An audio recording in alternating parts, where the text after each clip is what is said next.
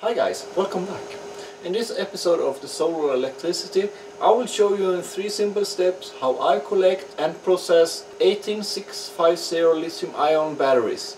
I will just quickly go through the basic steps that are how I collect them, how I strip them down, and in the last step how I measure them up and get them in different bins to later processing. So let's start. First of all, I'm going to talk a little bit about safety.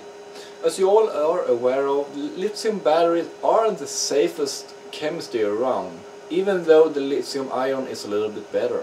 When you are processing batteries like this, you need to take a couple of measurements, and that is especially be aware of that it can catch fire. I mean, it can do horrible things. If, if you haven't seen that, take a look below and you I will show you a video during this. The thing is, when I process them, I always make sure to have a fire extinguisher around. Keep that in mind, have some kind of fire extinguisher that is made and will be able to actually put out the fire on lithium ions. Uh, secondly, have a bin around as well, some kind of metal beam, uh, preferable standing on a floor or something. Lithium burns with a very very high temperature. And let's continue with actual teardown. First, let's talk about how I scout one of your biggest sources is that you have friends working with computers. So what I do is actually utilize them and make sure that every kind of laptop battery that they got, get in contact with, they send to me. Uh, it may be also that they are working in some kind of computer place. Ask them. Let's see. I mean, in some cases they actually just throw the batteries out. Ask them if you can have them. Um, I also go by and check for instance Facebook, uh, eBay, all kind of different places where I can just source the batteries, even buy them. Um, also I go and check out local stores like recycling stores among others where I can find a lot of batteries from. Time to get them opened. Before we start, I just want to mention that you should have some kind of protection. You should wear gloves and you should wear something for your eyes. Because the, the plastic in this case is an electronics inside, they are sharp and you will consider the amount of force you need to use. You will cut yourself. Um, I'm using some old-fashioned pliers and that's generally good enough. Um, also make sure, as I said earlier, to have somewhere to toss the batteries if something may happen if you short circuit them because you will create sparks. So, opening them up. As you can see I started in the edge and tried to tear it apart where I actually open the side. I generally always start to try to open them on the edge where the charging contact is. And that generally works out really really fine. Then from there it's just a matter of getting everything out and it's a matter of learning how the different packs actually do work.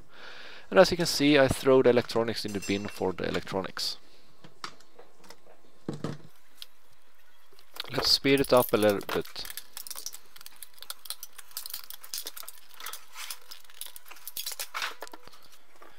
Uh, another pack, the same type. Just another view. Unfortunately the camera wanted to move a little bit. This one went a little bit faster to open up.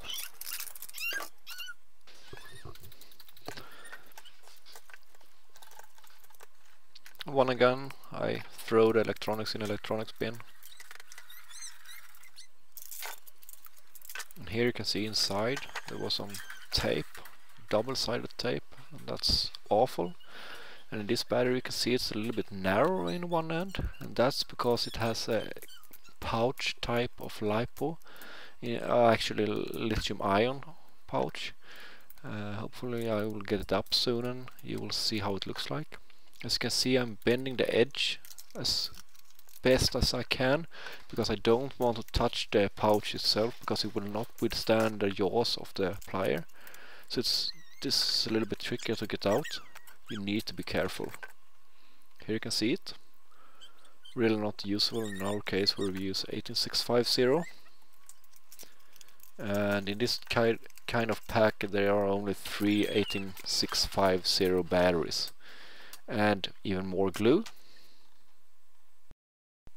It's now time to actually clear the batteries from all the junk. As you can see I pull gently towards me. If you do that you will get most of the stuff away. I'm using a little bit too big ply though.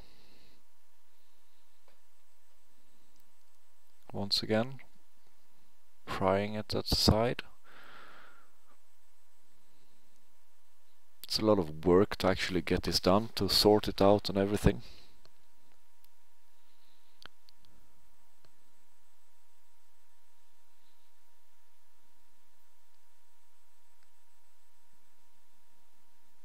Next pack.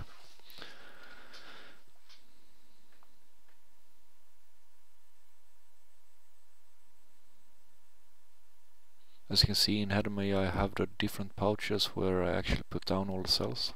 Here you see me prying it to the side again and there isn't that much left on them.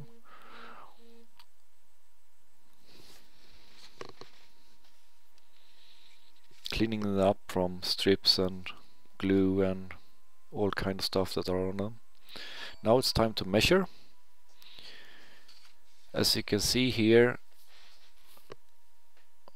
on the image that pops up I'm just quickly measure them to make sure that they are above 1 volt because that's where my charger starts to charge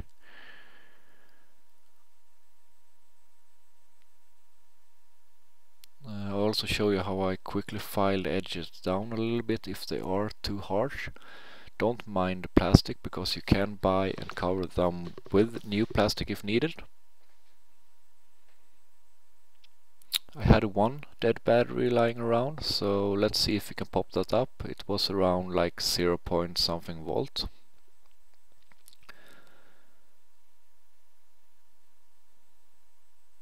so I'm us using my bench meter here to actually pop it up and you can see it goes up pretty fast 350 milliamps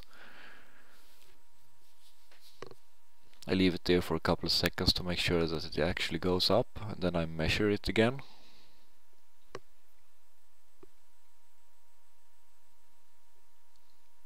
And now we have above 1 volt, so let's toss it into the let's test bin. Here we have a cell that is actually not working, gives 0 volt. And as you can see here I tried to put in some uh, power into it and nothing happens at all. I even test so that uh, as you can see it's actually giving out So let's pop the CID. I do not recommend this at all. You can read a lot on it on the network, but let's see what happens. As you can see, it now gives voltage again. But as I said, I do not recommend it. It popped the CID of some reason. So let's start charging the one in the bin. Put it into my charger. And I generally charge test them with 1 amp. So let's run 1 amp cycle.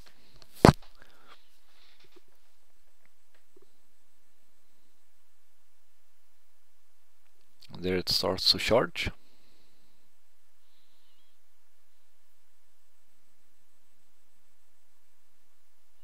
The voltage will most likely slowly raise.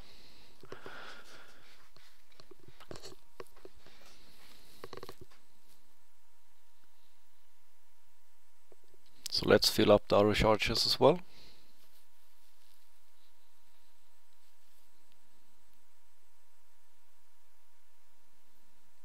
When they are done I mark them with some tape. Uh, the tape is just for being able to write the, uh, the milliamps that are on them. And when done I sort them in different trays. In this case I just lay them up but I do sort them in one about 2 amps and one below. And a big mess after that's done.